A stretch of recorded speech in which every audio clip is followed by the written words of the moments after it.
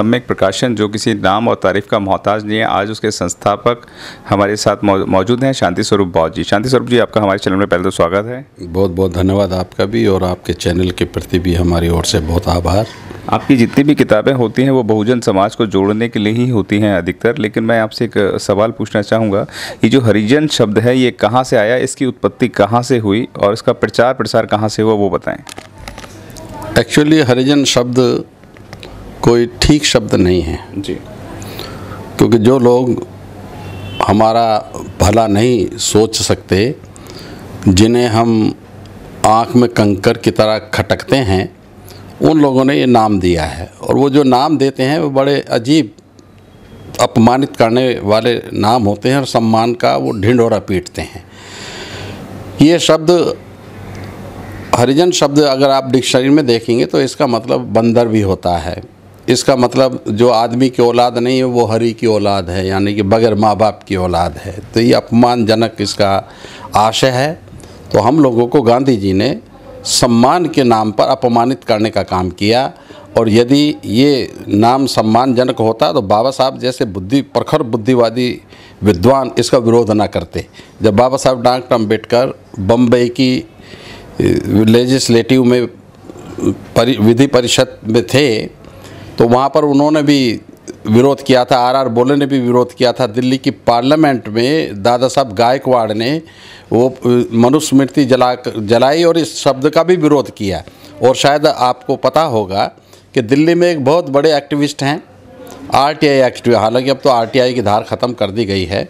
उन्होंने अपने बलबूते पर सरकार से लड़कर, ये जो शब्द है, हरिजन शब्द, इसको अनपार्लियामेंट्री डिक्लेयर कराया, यानी कि गैर कानूनी अब इसका सरकारी स्तर पर प्रयोग हो नहीं सकता, प्रयोग होगा तो वो दंड का भागी होगा। ये हरिजन शब्द का ऑपरेशन है। हमें, इन लोगों ने हमेशा हमारे साथ क्या छल किया है? जैसे हमारे एक महापुरुष हुए हैं, महामना ज्योतिबा फूले। उनको इन्होंने एक बार सम्मानित किया। तो सम्मानित करने में उनको क्या नाम दिया इन्होंने? महात्मा। यानी कि जो व्यक्ति आत्मा का विरोध करता था, उसी को महात्मा कह दिया, जैसे बुद्ध को महात्मा कह दिया। बुद्ध से बड़ा कोई अनात्मवादी नहीं हुआ।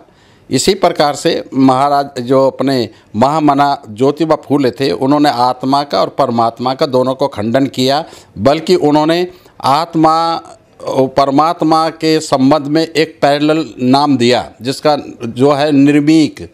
निर्मीक का मतलब जिसने हम सबको बनाया है, उनकी अलग अवधारणा थी। मैं उन्हीं को, उन्होंने महात्मा नाम दे करके महात्मा फूले लोग लिखने लगे। वो एक ज़माना था, षड्यंत्रों को हम लोग पहचान नहीं पाते थे। आज हरे घास के हरे सांपों को पहचानने का काम बहुत तेज़ी से चल रहा है, हमारे लोग उस पर नज़र रखते हैं। एक तो उन्होंने महात्मा कह के सम्मानित कर दिया। दूसरी तरफ़, अपनी बेकार की संस्कृति, हमारे ज्योतिबा पर थोप दी। तो हमें बड़ा सावधान रहना है। ये जो शब्द हरिजन शब्द, बड़ा घिनौना शब्द है और अपमानित करने वाला शब्द है। अभी बाबा साहब ने भी कहा, ये बात कांशी राम ने भी कही, मायावती ने भी कही कि भाई, अगर हम अरही के जन हैं तो आप किसके जन हो? तो वो ये नहीं बताते हैं तो क्या आप हरि के जन नहीं हो तो किसी शैतान के जन हो? नहीं, वो बात नहीं कहेंगे, मगर शब्द थोपते हैं। और सारा का सारा मीडिया उनका इंतज़ार करता रहता है, कब हमारे महापुरुष, हमारे कोई नेता, कोई बात कर कब हम उसको महिमा मंडित करें। आँख मूंद के महिमा मंडित करते हैं। अरे सीधी सी बात है, जो शब्द आप अपने लिए इस्तेमाल नहीं कर सकते, वो शब्द आप हमारे लिए क्यों इस्तेमाल करते हो?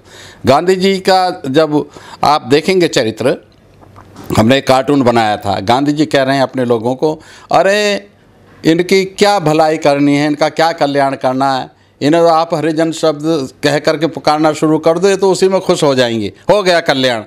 तो ये सारी की सारी बातें धोखाधड़ी हैं, षड्यंत्र हैं, जिसमें उनका हित तो है, पर हमारा हित नहीं है तो हम उन कामों को क्यों करेंगे जिसमें हमारा हित नहीं है? इसलिए हम इस हरिजन शब्द का विरोध करते हैं, अंतर मन से विरोध करते हैं, सामूहिक रूप से विरोध करते हैं, और अब तो कानूनी तौर पर ये अनपार्लियामेंट्री शब्द डिक्लेयर्ड है, यानी कि इसको गाली मान लिया गया है।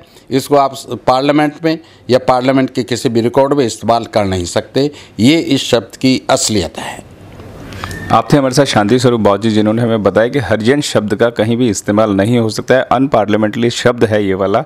आपने हमारे इतनी जानकारी इसके लिए धन्यवाद साहब। बहुत बहुत धन्यवाद आपका भी। आपने इस योग्य समझा कि हम कुछ बता पाएँ।